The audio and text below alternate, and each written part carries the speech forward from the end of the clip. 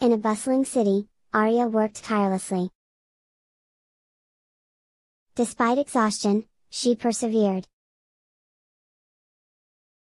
Her efforts paid off, inspiring others not to give up. After a long day's hard work, remember. Your efforts will bloom into something extraordinary. Keep pushing forward.